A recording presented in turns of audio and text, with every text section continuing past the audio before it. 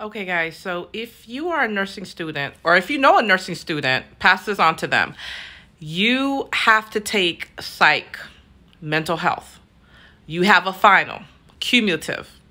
I encourage you to make sure you know these topics, make sure you understand the difference between therapeutic and non-therapeutic communication.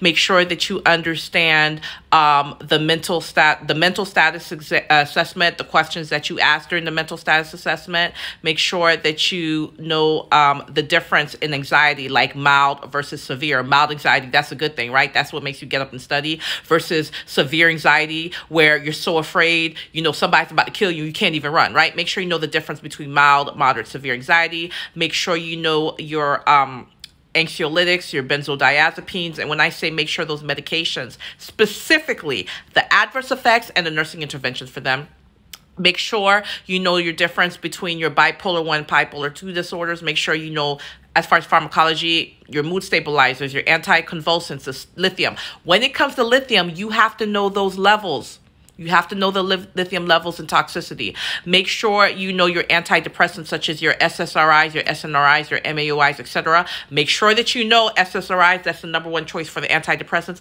And make sure you know those foods that contain tyramines that the patient's taking MAOIs that they have to stay away from. You're going to see it.